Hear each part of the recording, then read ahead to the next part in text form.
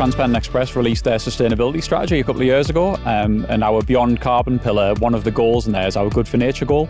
We're really excited to install our first Bioscape Suds unit um, here at Northallerton. We have 19 stations across the north of England, and we're hoping to roll these out across further stations in the future.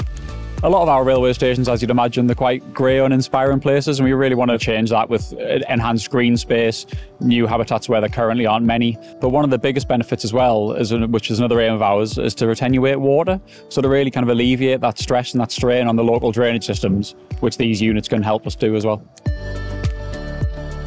So it's great to work with uh, uh, Express. They are um, enhancing the area for, for biodiversity and that will enhance the customer experience and our suds unit will help make the station much more attractive for people. It also catches water, so it'll catch water off the roof behind us and that will then reduce the risk of flooding here and elsewhere because a lot of these hard surfaces put a lot of water into the drainage system and there's new requirements on water companies and local authorities and lead local flood authorities to, to clean our waters and so the sud system that we've put in behind us will take water off the roof and it will then filter it through a specially developed soil.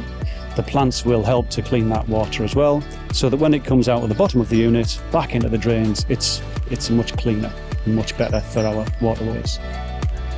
We really want to roll these out across our other stations. We want to take back feedback from our TPE staff on the stations, from our passengers, um, from the people installing it, you know, how easy was it to install, before we look to roll this out across various of our other stations.